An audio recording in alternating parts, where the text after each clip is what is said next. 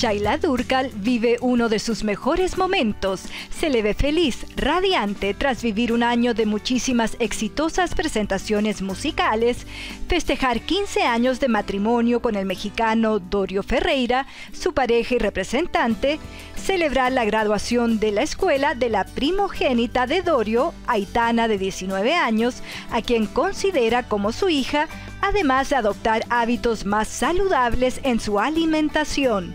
Hace poco regresaba a Madrid, donde reside desde hace cinco años tras estar de gira, en donde estuvo cantando en Estados Unidos y México, el país que considera como un segundo hogar. Es algo muy bonito porque es lo que, es lo que dices, ¿no? También lo considero como mi casa y también aprovecho para ver a, mis, a mi familia política, a mis suegros, a mis tíos, todo, ¿no? Y a mis tíos por parte de mi padre también, porque tengo tíos mexicanos de familia por parte de, papá y me encanta poder disfrutar de, de mi México lindo siempre, eh, que me da tanto, me bendice tanto siempre y me, me reciben siempre con los brazos abiertos, con un amor y cariño impresionante y qué menos que regalarles música nueva, ¿no? Y poder seguir aportándole también a la música regional mexicana, que es importante para mí. Es sabido que tanto la cantante como su madre, Rocío Durcal, han interpretado canciones de autores mexicanos como a su vez rancheras, un género musical que Shaila se alegra de que ahora otros intérpretes estén interesados en fusionar esa música con géneros nuevos.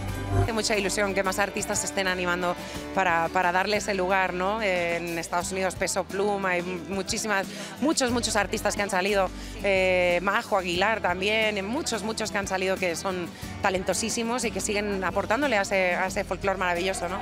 O sea que feliz de ser parte de ese género también. A su vez, la cantante ha aprovechado para adelantarnos que tiene una sorpresa para sus fans. Es maravilloso porque si Dios quiere, antes de final de año arranco con mi nueva música Vengo regresando ahora de, México, donde he tenido gira y también en Estados Unidos.